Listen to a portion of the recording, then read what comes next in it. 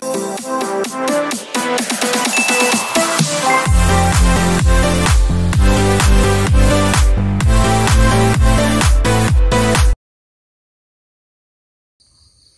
xin kính chào quý ờ, bà con ờ, anh em và các bạn nuôi ong trên mọi miền Tổ quốc.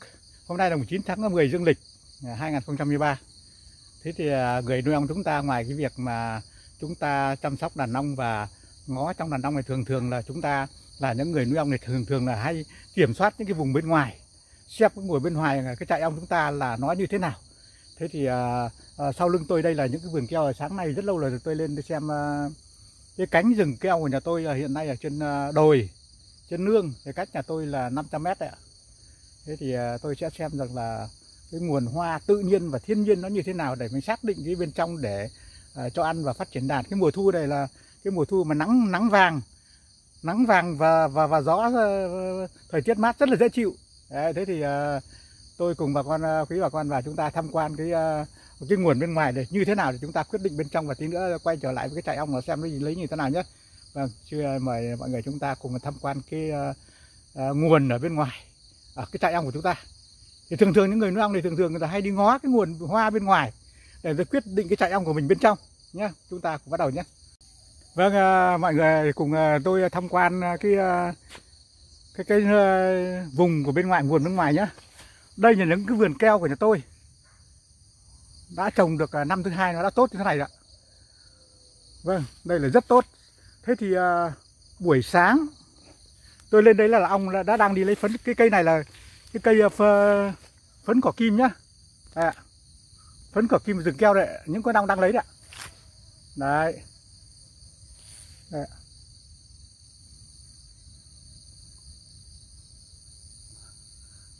Đây ạ. Đấy, những cái ong cần mẫn đang lấy phấn cỏ kim đấy đây là tất cả mà cái uh, rừng keo của tôi thì bên dưới chân là hoàn toàn cỏ kim như thế này nhá. Thế thì buổi sáng là nó lấy phấn kim phấn cỏ kim. Buổi sáng sẽ ong đi lấy phấn cỏ kim. Đấy. Thế thì buổi chiều buổi chiều thì nó tiếp tục lên những cái cái ngọn keo thế này để nó lấy mật keo nhé. càng nắng mật keo nguyên lý của rừng keo thì càng nắng thì nó sẽ càng càng tiết mật nhé. đấy rất nhiều rừng keo chúng tôi uh, keo năm thứ hai cái lô tầm keo thứ hai mà tầm keo tai tượng thứ hai mà tầm như thế này thì nó sẽ tiết rất nhiều mật càng nắng thì càng tiết mật thì uh, mùa đông thì uh, nó sẽ tiết mật ít hơn, thế nhưng mà vẫn là cái cứu tinh của của ong ở đối với miền núi nhá. Trên người miền núi ta nuôi ong là ở rừng mà không nuôi ong thì nuôi, thì chả có nuôi cái gì. Đấy, cho nên là những người miền núi chúng ta rất cần nuôi ong. Đấy. Những cây cỏ kim của chúng tôi ở đây đấy con ong vẫn đang lấy đấy, buổi sáng này là lấy đấy đấy. Đây là con ong đang lấy phấn kim đấy buổi sáng thì ong lấy phấn cỏ kim nhá. Đây. Cái chiếu ở nguồn ở rừng núi chúng tôi đấy rất nhiều. Những cây quả kim như thế này. Lên rừng đã lên đồi đã thấy ong o lấy quả kim rồi. Đây, tất cả đang lấy quả kim đấy phấn quả kim là tốt nhất trong các loại phấn nhé. Đây.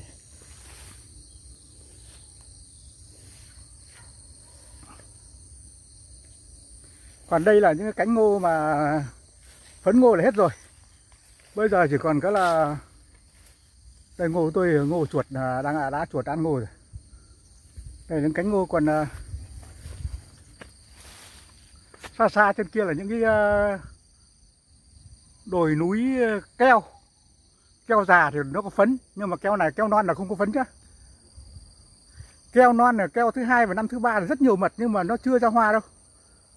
Đấy. còn kia là trên núi non. Núi non trùng điệp chúng tôi đấy trên là cái mùa này là chúng tôi rất hạn chế phải cho ăn. Tí nữa chúng ta sẽ về xem cái chạy ong là tôi à, chưa cho ăn cho nó như thế nào nhé. À, nguồn như thế nào mà chưa cho ăn nhé. Đấy. Vâng tôi vẫn đang tiếp tục à, đi xem cái rừng keo rừng keo của nhà tôi đã. Nguyên cái keo này à, cỡ ở đây là vườn nhà tôi với à, à, mọi người hàng xóm xung quanh là cỡ vài chục ha như thế này nhé. Vài chục ha keo như thế này. Ở quanh đây thôi. Quanh đây thì có tới gần à, gần trăm ha keo như thế này. Keo năm thứ ba. Còn đây là tầng dưới keo thì nó có những cây như thế này. Tầng dưới keo là cây cây cỏ đĩ như thế này. Cây cỏ đĩ ở cái tầng dưới tầng keo. Thì buổi sáng thì nó lấy ờ, phấn keo à, phấn ờ, cỏ đĩ và phấn keo ở trên đồi những cây keo già. Buổi chiều thì nó sẽ lấy những cây ờ, nó lên những ngọn lá keo kia nó lấy mật. Thì cái buổi chiều đến đây là tiếng ong o, vo ve nhiều lắm. Đấy. đấy chúng ta những người nuôi ong thì thường thường phải đi ngắm cái địa hình ở bên ngoài người là phải đi nuôi à, ong là phải đi ngắm ngắm cảnh. Còn đây là những bụi cỏ rác này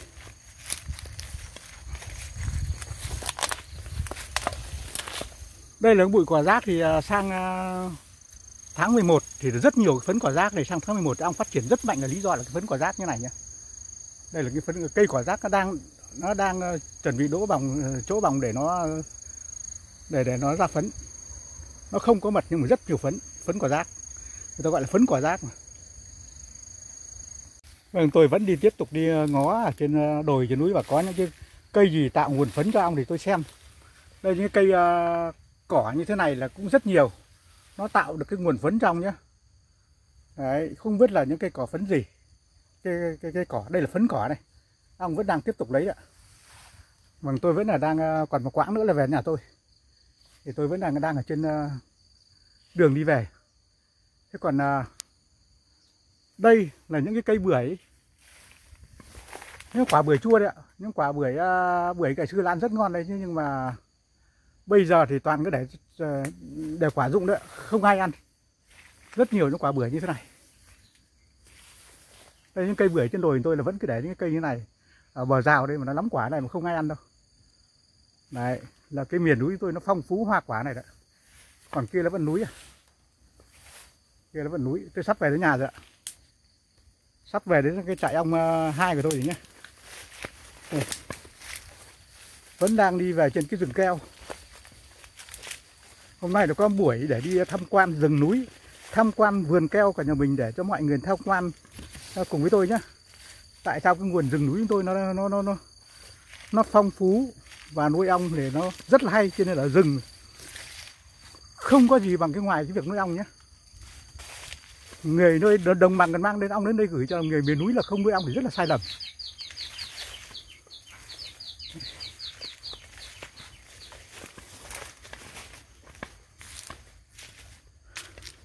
À, gần về nhà đấy nào thì lại đây là có những cái vườn keo tiếp theo thì vừa trồng xong vừa trồng xong và những vườn ngô kẹ vườn ngô thì hết phấn rồi thì sắp về đến à, trại ong thì à, cắt um, dừng điện thoại để về trại ong một thì chúng ta sẽ à, trại ong hai ở trong núi chúng ta sẽ xem trại ong hai của tôi như nào rồi chưa chăn nhé. Vâng như vậy xin chào mọi người nhé. Tôi vừa trên uh, tham quan ở rừng núi về trên đồi cây về. Thế thì uh, quý bà con và các bạn chúng ta cùng uh, tham quan cái uh, trại ong hai của tôi là giáp cho núi đây là cái vườn na này ta ngó toàn cảnh bên ngoài này trong cái trại ong mà nó đang đi làm việc. Như thế này. Đây đi làm là tờ giờ này giờ lúc này là tầm 8 rưỡi. Thì cái trại ong của tôi là nó đi làm rất là mạnh. Đấy, trên là tí nữa chúng quý bà con là mọi người sẽ kiểm tra chất lượng bên trong cho ta có cần phải cho ăn nữa không nhá? Ta có cần phải cho ăn không đây là cái trại ong số 2 mà tôi ờ, nuôi ờ, ở trong ờ, ga giáp núi đó. đây là tổng đàn nó có 70 đàn ong. Đấy thế thì à, mời quý vị bà con và chúng ta sẽ xem thêm thực chất ở trong đàn ong này nó phát triển như thế nào nhé. Đây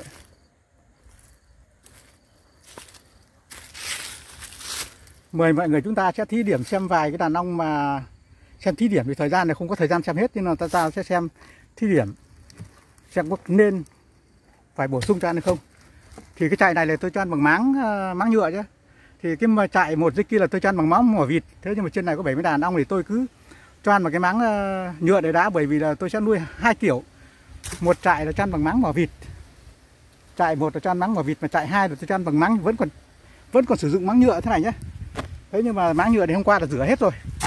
Thế nhưng mà xem lại nếu như nó thiếu nguồn để ta cho ăn mà vẫn đủ thì ờ, quý bà con ta xem có nên cho ăn không nhé đây, ạ đây là cái đàn ong ba cầu tôi chạy trên này cũng thế toàn đàn ba cầu hết nhé để chúng ta cùng xem này. Ta xem từng cầu một nhé đây chúng tôi thì à, mùa núi thì à,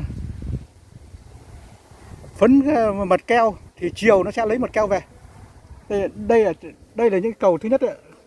cầu này vẫn chưa từ năm ngoái năm nay là cũng cây trên này chưa cho ăn mà chỉ cho ăn phấn chứ. Thế là mọi người là cân nên cho ăn không? Theo tôi thì à, như thế này là không cần cho ăn nhá. Khi nào thì rét thì ta mới bổ sung cho ăn, chứ lúc này không cần cho ăn. Chúng tôi nguồn ở đây là vẫn còn nhiều thì à, thì tôi xem cái trại hai của tôi cũng chưa cần cho ăn, bởi vì là chúng tôi ờ, năm nay cũng không nhân đàn. Không nhân đàn cái trại hai này chỉ nhân một số ở trại một thôi. Đây, nó xây lưỡi mèo đấy ạ. Đây, bánh tổ cái trại hai đấy đây, chúng tôi chưa ăn có gì thì chưa cho ăn nhá đây là trại ong hai mà chưa cho ăn tí nào. Mới rửa máng thôi. Nhưng mà như thế này cũng không cần cho ăn nữa nhá. Đấy là cầu thứ hai, cầu thứ ba.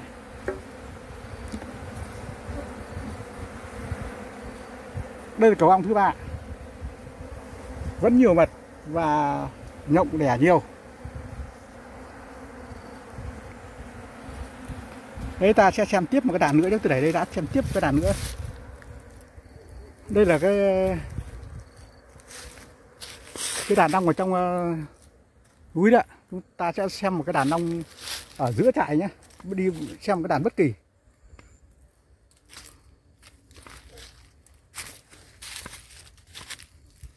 Đây mời bà con chúng ta cùng xem tiếp một cái đàn thứ hai nhé. Xem đàn thứ hai để đánh xem ba đàn đánh giá toàn trại ong nhé. Đấy.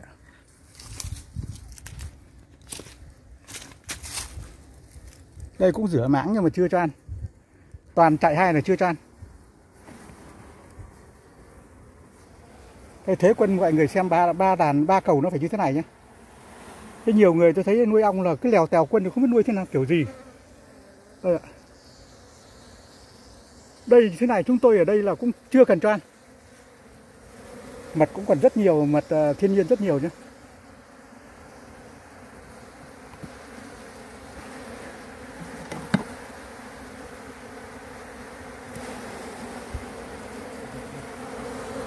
Vâng, tiếp với cầu thứ hai cũng thế đấy. Rất là nhiều nhộng. Cầu thứ ba trong tiệm thế đẻ rất nhiều đấy.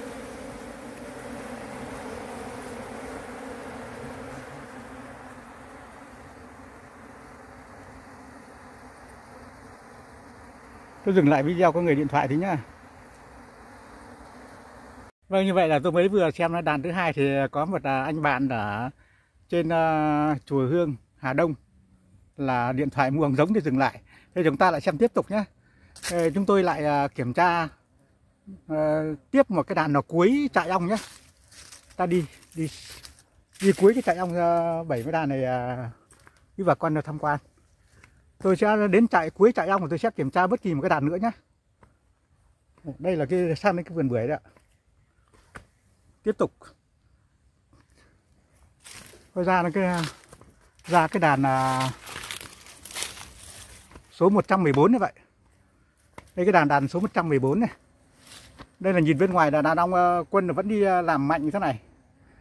Ong rừng thì vẫn còn nhiều. Chúng ta sẽ kiểm tra tiếp một cái đàn thứ ba, cái chạy trại chạy số 2 mà chưa cho ăn nhé. Đây đàn ong nào thì tôi có cái mảnh lưới thế này rất là tác dụng. Là quân nó sẽ không lên nắp mà xem ong nó dễ đây đàn ong nào thì ờ, quân phải tràn ra vắn như thế này mới đạt yêu cầu nhé chứ nhiều người nuôi ong là xem ong mà chẳng thấy quân nào ngoài vắn ngăn cả là cái đàn ong rất yếu. Đây, ạ. đây mật như thế này là cũng rất nhiều chưa tràn mà như này cũng rất nhiều đấy. Đây là toàn mật rừng thiên nhiên. Còn cái trại hai này là chưa tràn một tí nào. Thì như thế này là mọi người đánh giá là không cần tràn đấy nữa nhé bởi vì năm nay là đường đắt là một thứ hai nữa là nhu cầu nhân đàn thì ờ, năm nay tôi không nhân nhiều, chỉ giữ hơn trăm đàn này thôi thế thì à, không không cần phải cho ăn mà lúc nào rét rét thì ta mới cần cho ăn nhá đây là đang cơi nới đấy đang cơi nới mà chưa cho ăn thế nào với cơi nới này đấy Vâng thế thì à, mọi người chúng ta sẽ xem qua cái trại à, một ngoài kia tí nhá. Chúng ta sẽ tiếp tục ra cái trại một. Đây vẫn là trại hai chưa hết. Chưa đi hết trại ong hai của tôi ạ. Đây những cây à, bưởi à, cái vườn bưởi này là bưởi da xanh rất là nhiều quả đấy ạ. Nhưng mà trong này chúng tôi thì cũng à, rồng làm cảnh chứ còn ăn thì rất ít. Sang cái trại hai thì qua một cái đường bê tông này nhá.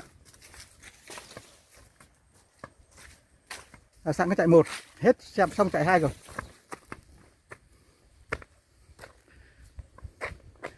đấy là cái quang cảnh tại ong hai của tôi.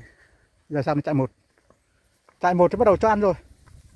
Trại một cho ăn thí điểm rồi.